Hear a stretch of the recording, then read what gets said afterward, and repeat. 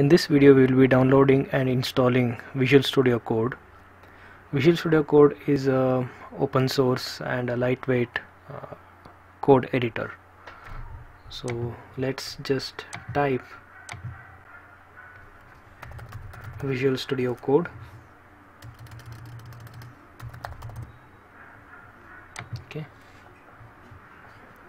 Then since I have a Windows operating system I will download this with the 64 bit. I'll choose the system installer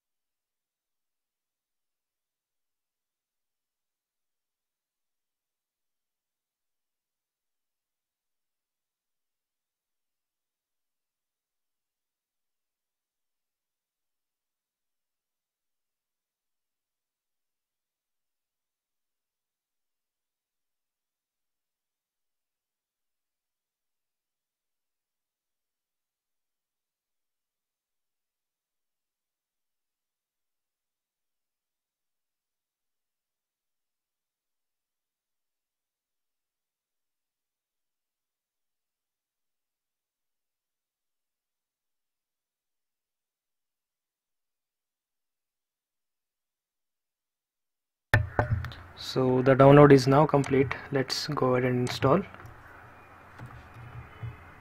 So we'll right click and run as administrator. Yes.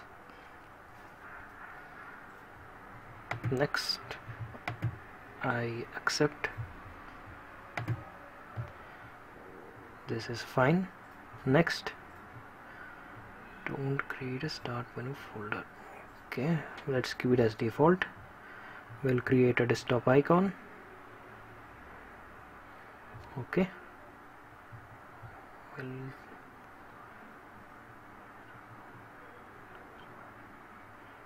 okay